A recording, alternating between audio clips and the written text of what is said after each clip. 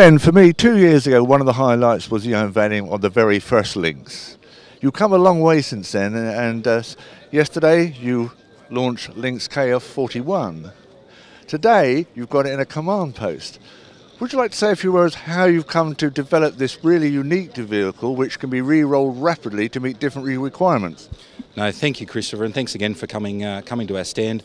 So, uh, Lynx KF31 uh, we launched two years ago. Uh, has the same modular, uh, adaptable uh, structure as the vehicle that you see here, and I guess I would say it's for, for the less demanding customer in terms of survivability and payload. The Lynx KF41 is for the more demanding customer. programs like the Land 400 Phase 3 program in Australia, Next Generation Combat Vehicle in the US, or the the Czech Republic with their IFV replacement program. The vehicle has that you see behind us has over 18,000 kilos of free payload, 1140 horsepower engine, giving it a, a unique uh, capability with the mechanical structure it has to adapt to, uh, to changing needs on the battlefield. We can do everything on this vehicle from uh, a light APC at 34 tonnes with 1140 horsepower, a good fun vehicle to drive around, right through to uh, uh, medium main battle tanks and, uh, and artillery systems on the vehicle. So it provides a really unrivaled capability in terms of the family of vehicles and variants that we can develop and really can be adapted as we've seen overnight from an infantry fighting vehicle to a command vehicle in only three and a half hours, which is quite unique, I think. And it also was very successful in the Czech retiles recently, and that's one of the potential markets for you in the short term at least. Yeah, the uh, we, we had the KF31 on trial there, and we've also offered the KF41 uh, uh, to the Czech Republic, particularly in both a, a medium main battle tank uh, uh, format, but also an infantry fighting vehicle format. We've had fantastic uh, feedback. The, the vehicle performed very well on trial last year, and we really look forward to the next steps in the in the Czech Republic. We think we have a good offering here. We're fully committed. We have over a thousand Rheinmetall staff already in the Czech Republic. We have a huge automotive plant there right now, so we're already a, a very strong partner to the, the, uh, the Czech government. That is also you're very heavily involved, you say, in the upgrade of the Leopard, and that includes a lot of transfer of technology and other other key things. Yeah, absolutely. So if you take the Polish program, we're very much used to uh, uh, to partnering with our customers directly to uh, to meet their needs, but also the, the needs of the country. So in the in the Polish uh, Leopard upgrade, uh, we're in production now. The first vehicles will be finished uh, this year in the Polish production facility for the Leopard upgrade there. So we're, we're very open to working with our customers to to meet their needs. You mentioned Australia, but for the uh, Australian reconnaissance, you have achieved a very high local content. I think through life you're talking about 70%. So you've already established a very good track record because that's what countries want. They want transfer of technology and local job, and you seem to be achieving that. Yeah, it's a, it's a delicate balance to find that uh, that we uh, we stay strong in our home markets, uh, but also partner with uh, those governments and, and countries to to uh, develop a good industry in their locations as well.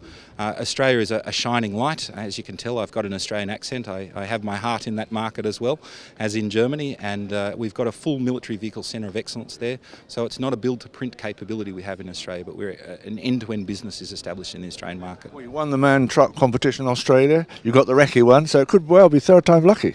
I hope so. So uh, yeah, things are going well in Australia. Things are going very well in Germany as well, and uh, in the UK as well. Uh, uh with the uh, the seven and a half thousand trucks, uh, MIV recently announced, and and hopefully very soon we find a way forward on the Challenger Life Extension program in the next phase as well. So we're excited about the future at the moment Looking at future vehicles, the user wants more volume, more payload, more protection. It seems in this vehicle you're actually meeting all those goals.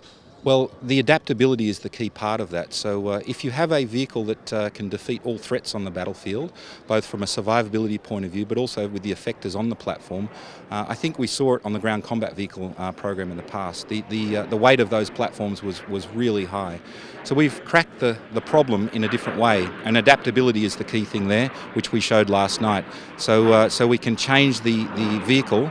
Uh, to be focused on sort of the urban terrain and, and heavy improvised explosive device and EFP threats, and we can modify it to the mounted combat operation configuration that you saw yesterday, and that can all be done in, in under four hours, and, and that's the unique thing that allows us to keep the weight of the vehicle within a, a reasonable level, that it's still transportable strategically for our customers. And this one's coming in at about 44 tonnes, but you've got a stretch potential of to 50, which really gives it a long life, which is that's what countries need these days. Absolutely. Well, it's not even a stretch potential. The vehicle is currently uh, in, on its test program and will be qualified at 50,000 kilos gross combination uh, uh, mass. Uh, we have variants of it in an APC variant at 34 tonnes with a rubber band track and 1140 horsepower.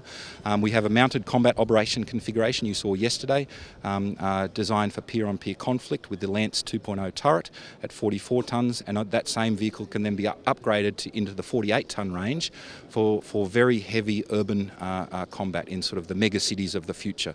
Uh, and even at the 48 tonne configuration, which has extremely high protection level against uh, uh, not just your standard um, uh, battlefield threats you might see in mounted combat operations, but also then EFPs, rocket propelled grenades, and that type of threat. And we still have reserve payload in that configuration. So.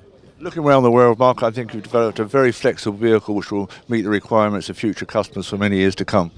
No, thank you very much. Really appreciate that, and uh, and everyone coming to see us here at the show this week. So.